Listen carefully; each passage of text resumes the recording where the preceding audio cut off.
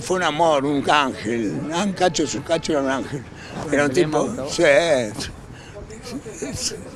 Cacho es, parte de Buenos Aires, no, no, no nos vamos a olvidar nunca. Jamás nos vamos a olvidar de una persona como Cacho Castaña. Es, es, es un hermano que se está yendo y que gracias a Dios en estos momentos está descansando, que es lo más importante. Me enseñó todo, me enseñó la alegría aparte, que tenía una alegría inmensa arriba del escenario. Este, nos divertíamos mucho, mucho cuando hacíamos los shows. Y, y aparte siempre hablábamos, no es que solamente los shows, hablábamos por teléfono, siempre me saludaba para Navidad, Año Nuevo, para mi cumpleaños.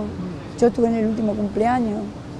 Así que, eh, nada, hoy para mí es el día más triste de mi vida. Estaba hace cuatro días que está durmiendo en un estado de coma farmacológico, no sufrió nada y bueno, esperábamos que tuviéramos una nueva expectativa de vida, como nos pasó, como me pasó varias veces antes, pero bueno, Dios no quiso. Primero fui su médico, fui su médico durante 33 años y después lo recuerdo como un amigo, un bohemio.